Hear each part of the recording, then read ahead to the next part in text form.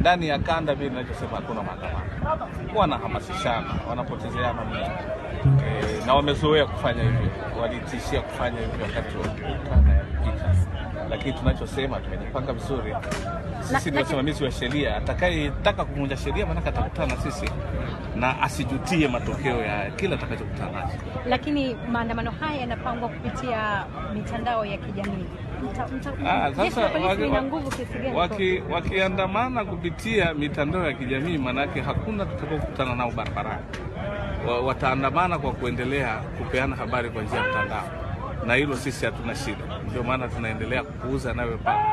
Lakini yeyote atakayehamasika kupitia mtandao, sasa kaja kwa maana ya kuleta vurugu, kuvunja sheria za nchi, atakutana nasi, tumejipata. Tarehe ishirini na sita kutakuwa kuna ulinzi kiasi gani? Ulinzi, ulinzi uko tu. Unataka kujua kiasi gani, kwa namna gani?